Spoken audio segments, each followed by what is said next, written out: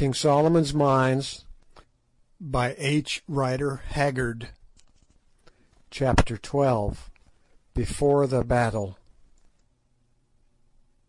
Luckily for us, Infadoos and the chiefs knew all the paths of the great town perfectly, so that we passed by side ways unmolested, and notwithstanding the gloom we made fair progress. For an hour or more we journeyed on, till at length the eclipse began to pass, and that edge of the moon which had disappeared the first became again visible. Suddenly, as we watched, there burst from it a silver streak of light, accompanied by a wondrous ruddy glow, which hung upon the blackness of the sky like a celestial lamp, and a wild and lovely sight it was. In another five minutes the stars began to fade, and there was sufficient light to see our whereabouts.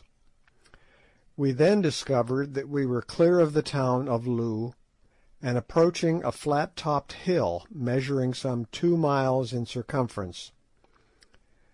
This hill, which is of a formation common in South Africa, is not very high.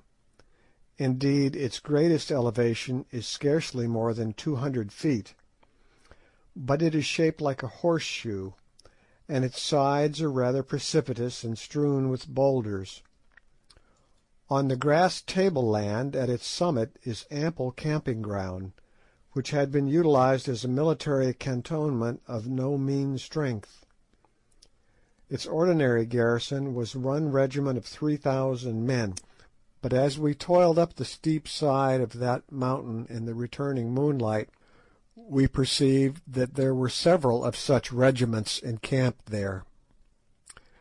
Reaching the tableland at last, we found crowds of men roused from their sleep, shivering with fear, and huddled up together in the utmost consternation at the natural phenomenon which they were witnessing. Passing through these without a word, we gained a hut in the centre of the ground, where we were astonished to find two men waiting, laden with our few goods and chattels, which of course we had been obliged to leave behind in our hasty flight. "I sent for them," explained Infadoos, "and also for these," and he lifted up Good's long lost trousers. With an exclamation of rapturous delight Good sprang at them, and instantly proceeded to put them on. "Surely my lord will not hide his beautiful white legs," exclaimed Infadoos regretfully. But Good persisted, and only once did the Kukuana people get the chance of seeing his beautiful legs again. Good is a very modest man. Henceforward they had to satisfy their aesthetic longings with his one whisker, his transparent eye, and his movable teeth. Still gazing with fond remembrance at Good's trousers, Infadoos next informed us that he had commanded the regiment to muster so soon as the day broke, in order to explain to them fully the origin and circumstances of the rebellion which was decided on by the chiefs, and to introduce to them the rightful heir of the throne, Ignosi.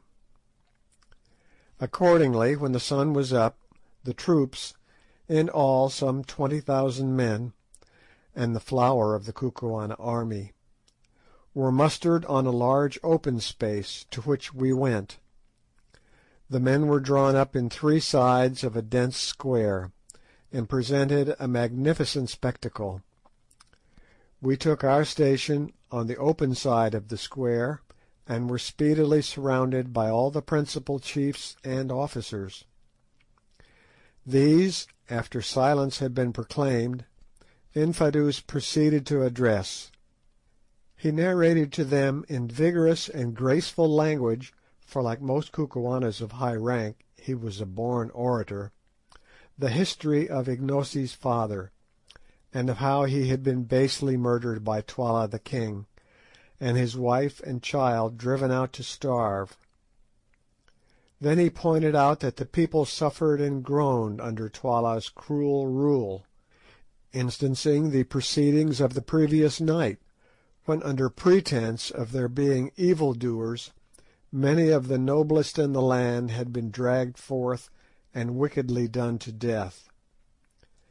Next he went on to say that the white lords from the Stars, looking down upon their country, had perceived its trouble, and determined, at great personal inconvenience, to alleviate its lot; that they had accordingly taken the real king of the Kukuanas, Ignosi, who was languishing in exile, by the hand, and led him over the mountains; that they had seen the wickedness of Twala's doings and for a sign to the wavering and to save the life of the girl Foulata, actually by the exercise of their high magic had put out the moon and slain the young fiend Scragga, and that they were prepared to stand by them, and assist them to overthrow Twala, and set up the rightful king Ignosi in his place. He finished his discourse amidst a murmur of approbation. Then Ignosi stepped forward and began to speak.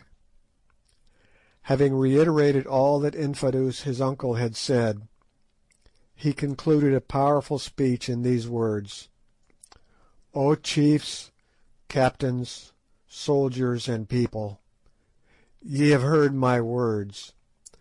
Now must ye make choice between me and him who sits upon my throne, the uncle who killed his brother, and hunted his brother's child forth to die in the cold and the night. That I am indeed the king these, pointing to the chiefs, can tell you, for they have seen the snake about my middle. If I were not the king, would these white men be on my side with all their magic? Tremble, chiefs, captains, soldiers, and people. Is not the darkness they have brought upon the land to confound Twala and cover our flight, darkness even in the hour of the full moon, yet before your eyes?" "It is," answered the soldiers. "I am the king, I say to you, I am the king," went on Ignosi, drawing up his great stature to its full, and lifting his broad bladed battle axe above his head. If there be any man among you who says that it is not so, let him stand forth, and I will fight him now, and his blood shall be a red token that I tell you true. Let him stand forth, I say," and he shook the great axe till it flashed in the sunlight. As nobody seemed inclined to respond to this heroic version of "Dilly, Dilly, come and be killed," our late henchman proceeded with his address. "I am indeed the king, and should ye stand by my side in the battle, if I win the day, ye shall go with me to victory and honour. I will give you oxen and wives, and ye shall take place of all the regiments, and if ye fall, I will fall with you. And behold, I give you this promise that when I sit upon the seat of my fathers, bloodshed shall cease in the land. No longer shall ye cry for justice to find slaughter. No longer shall the witch finder hunt you out so that ye may be slain without a cause. No man shall die, save he who offends against the law. The eating up of your kraals shall cease, each one of you shall sleep secure in his own hut, and fear naught, and justice shall walk blindfold throughout the land. Have ye chosen, chiefs, captains, soldiers, and people?" "We have chosen, O king," came back the answer. "It is well. Turn your heads and see how Twala's messengers go forth from the great town, east and west and north and south, to gather a mighty army to slay me and you, and these my friends and protectors. To‐morrow, or perchance the next day, he will come against us with all who are faithful to him. Then I shall see the man who is indeed my man, the man who fears not to die for his cause, and I tell you that he shall not be forgotten in the time of spoil. I have spoken, O chiefs, captains, soldiers, and people. Now go to your huts and make you ready for war." There was a pause, till presently one of the chiefs lifted his hand, and out rolled the royal salute, "Koom!" It was a sign that the soldiers accepted Ignosi as their king. Then they marched off in battalions. Half an hour afterwards we held a council of war, at which all the commanders of regiments were present. It was evident to us that before very long we should be attacked in overwhelming force. Indeed, from our point of vantage on the hill we could see troops mustering, and runners going forth from Loo in every direction, doubtless to summon soldiers to the king's assistance. We had on our side about twenty thousand men, composed of seven of the best regiments in the country. Twala so Infadoos and the chiefs calculated, had at least thirty to thirty-five thousand on whom he could rely at present assembled in Loo, and they thought that by midday on the morrow he would be able to gather another five thousand or more to his aid. It was, of course, possible that some of his troops would desert and come over to us, but it was not a contingency which could be reckoned on. Meanwhile it was clear that active preparations were being made by Twala to subdue us.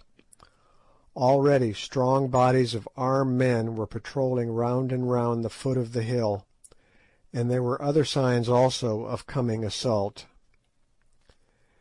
Infadoos and the chiefs, however, were of opinion that no attack would take place that day, which would be devoted to preparation and to the removal of every available means of the moral effect produced upon the minds of the soldiery by the supposed magical darkening of the moon. The onslaught would be on the morrow, they said, and they proved to be right. Meanwhile we set to work to strengthen the position in all ways possible. Almost every man was turned out, and in the course of the day which seemed far too short, much was done. The paths up the hill, that was rather a sanatorium than a fortress, being used generally as the camping place of regiments suffering from recent service in unhealthy portions of the country, were carefully blocked with masses of stones, and every other approach was made as impregnable as time would allow. Piles of boulders were collected at various spots to be rolled down upon an advancing enemy, stations were appointed to the different regiments, and all preparation was made which our joint ingenuity could suggest. Just before sundown, as we rested after our toil, we perceived a small company of men advancing towards us from the direction of Loo, one of whom bore a palm leaf in his hand for a sign that he came as a herald. As he drew near, Ignosi, Infadoos, one or two chiefs, and ourselves went down to the foot of the mountain to meet him. He was a gallant looking fellow, wearing the regulation leopard skin coat. "Greetings!" he cried as he came near. The king's greetings to those who make unholy war against the king, the lion's greeting to the jackals that snarl around his heels. "Speak," I said. "These are the king's words. Surrender to the king's mercy ere a worse thing befall you. Already the shoulder has been torn from the black bull, and the king drives him bleeding about the camp. This cruel custom is not confined to the Kukuanas, but is by no means uncommon amongst African tribes on the occasion of the outbreak of war or any other important public event. Allan Quatermain. "What are Twala's terms?" I asked from curiosity. His terms are merciful, worthy of a great king.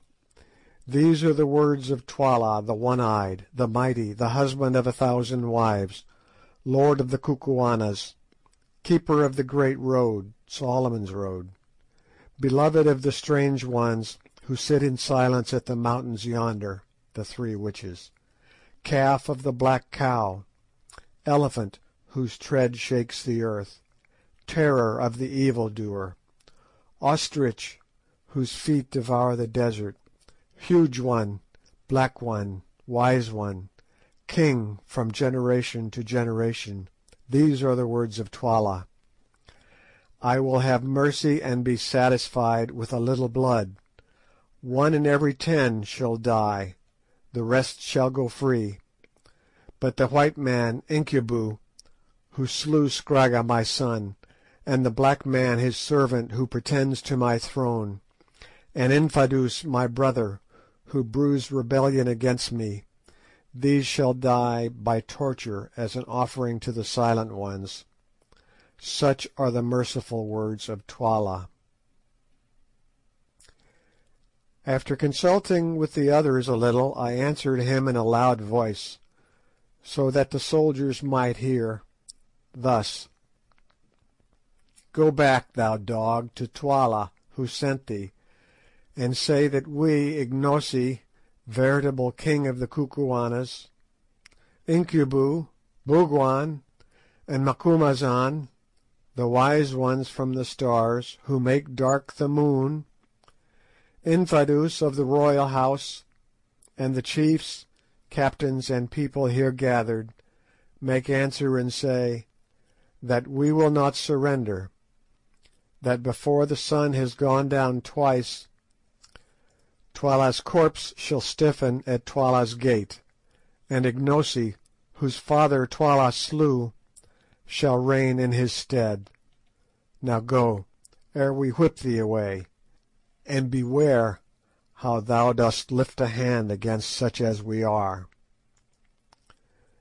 The herald laughed loudly.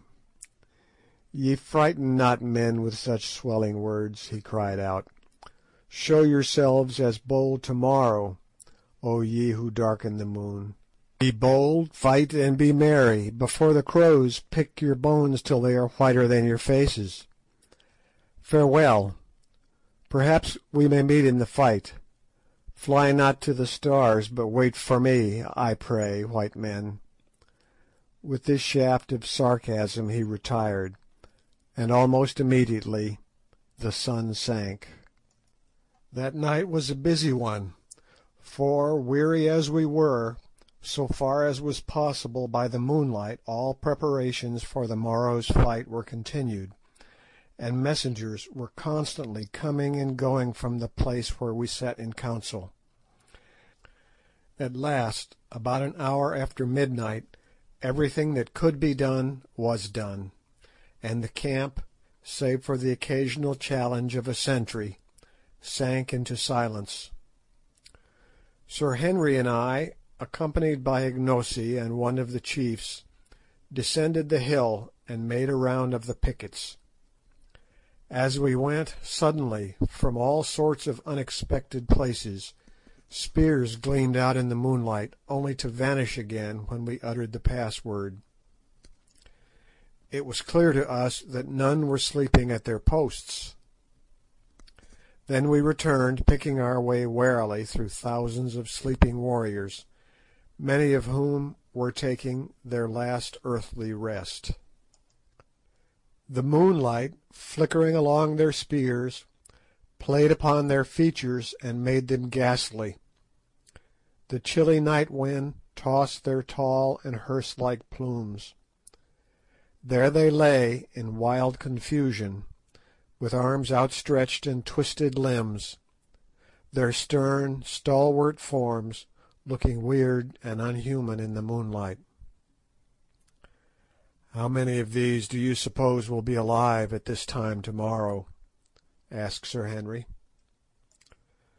I shook my head and looked again at the sleeping men, and to my tired and yet excited imagination it seemed as though death had already touched them. My mind's eye singled out those who were sealed to slaughter, and there rushed in upon my heart a great sense of the mystery of human life, and an overwhelming sorrow at its futility and sadness. To night these thousands slept their healthy sleep. To morrow they, and many others with them, ourselves perhaps among them, would be stiffening in the cold, their wives would be widows, their children fatherless, and their place know them no more for ever. Only the old moon would shine on serenely, the night wind would stir the grasses, and the wide earth would take its rest, even as it did eons before we were, and will do eons after we have been forgotten. Yet man dies not, whilst the world, at once his mother and his monument, remains. His name is lost, indeed, but the breath he breathed still stirs the pine tops on the mountains, the sound of the words he spoke yet echoes on through space, the thoughts his brain gave birth to we have inherited to day. His passions are our cause of life, the joys and sorrows that he knew are our familiar friends. The end from which he fled aghast will surely overtake us also. Truly the universe is full of ghosts, not sheeted churchyard spectres, but the inextinguishable elements of individual life, which having been can never die, though they blend and change, and change again for ever. All sorts of reflections of this nature pass through my mind, for as I grow older I regret to say that a detestable habit of thinking seems to be getting a hold of me. While I stood and stared at those grim yet fantastic lines of warriors, sleeping, as their saying goes, upon their spears. "Curtis," I said, "I am in a condition of pitiable fear. Sir Henry stroked his yellow beard and laughed, and he answered, "I have heard you make that sort of remark before, Quatermain." "Well, I mean it now. Do you know, I doubt very much if one of us will be alive to morrow night. We shall be attacked in overwhelming force, and it is quite a chance if we can hold this place." "We'll give a good account of some of them, at any rate. Look here, Quatermain, this business is nasty, and one with which, properly speaking, we ought not to be mixed up, but we are in for it, so we must make the best of our job. Speaking personally, I had rather be killed fighting than any other way, and now that there seems little chance of our finding my poor brother, it makes the idea easier to me. But fortune favours the brave, and we may succeed. Anyway, the battle will be awful, and having a reputation to keep up, we shall need to be in the thick of the thing." He made this last remark in a mournful voice, but there was a gleam in his eye which belied its melancholy. I have an idea Sir Henry Curtis actually likes fighting. After this we went to sleep for a couple of hours or so. Just about dawn we were awakened by Infadoos, who came to say that great activity was to be observed in Loo, and that parties of the king's skirmishers were driving in our outposts. We rose and dressed ourselves for the fray, each putting on his chain armour shirt, for which garments at the present juncture we felt exceedingly thankful. Sir Henry went the whole length about the matter, and dressed himself like a native warrior. "When you are in Kukuanaland, do as the Kukuanas do," he remarked, as he drew the shining steel over his broad breast, which it fitted like a glove. Nor did he stop there. At his request Infadoos had provided him with a complete set of native war uniform. Round his throat he fastened the leopard skin cloak of a commanding officer; on his brows he bound the plume of black ostrich feathers worn only by generals of high rank, and about his middle a magnificent moocha of white ox tails. A pair of sandals, a leglet of goat's hair, a heavy battle axe with a rhinoceros horn handle, a round iron shield covered with white ox hide, and the regulation number of tollas or throwing knives, made up his equipment, to which, however, he added his revolver. The dress was, no doubt, a savage one, but I am bound to say that I seldom saw a finer sight than Sir Henry Curtis presented in this guise. It showed off his magnificent physique to the greatest advantage, and when Ignosi arrived presently arrayed in a similar costume, I thought to myself that I had never before seen two such splendid men.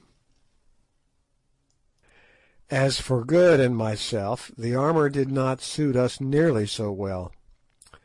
To begin with, Good insisted upon keeping on his new found trousers, and a stout, short gentleman with an eyeglass, and one half of his face shaved, arrayed in a mail shirt, carefully tucked into a very seedy pair of corduroys, looks more remarkable than imposing. In my case, the chain shirt being too big for me, I put it on over all my clothes, which caused it to bulge in a somewhat ungainly fashion. I discarded my trousers, however, retaining only my veldtschoons, having determined to go into battle with bare legs in order to be the lighter for running, in case it became necessary to retire quickly. The mail coat, a spear, a shield that I did not know how to use, a couple of tollas, a revolver, and a huge plume which I pinned into the top of my shooting hat in order to give a bloodthirsty finish to my appearance, completed my modest equipment.